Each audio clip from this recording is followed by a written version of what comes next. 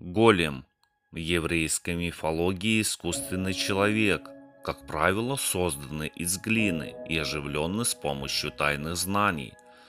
По легенде, относящейся к началу 17 века, голема по имени Йозеф создал из глины и праха знаменитый талмудист и каббалист, главный раввин Праги, Ейхуда Лива бен Бецалель, для защиты еврейского народа – а также для исполнения разных черных работ, трудных поручений, имеющих значение для еврейской общины, но главным образом для предотвращения кровавого налета путем своевременного вмешательства и разоблачения.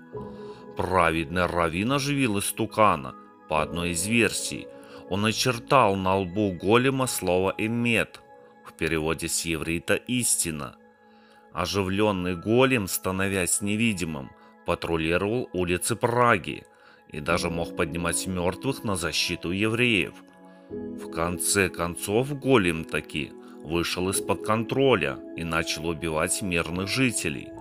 Поэтому Бен Бецалель был вынужден прикончить его, стерев первую букву слова «эмет», давшее голему жизнь. Равин оставил на лбу своего детища «мед», что на иврите значит смерть.